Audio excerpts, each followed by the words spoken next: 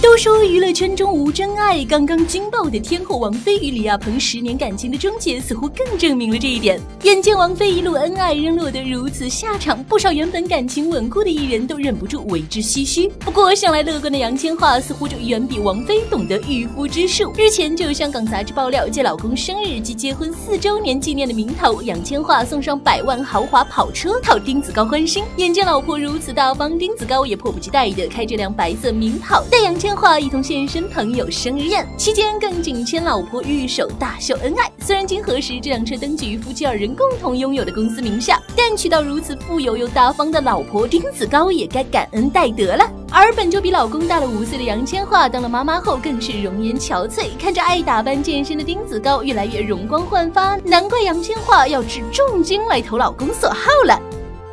东星娱乐整理报道。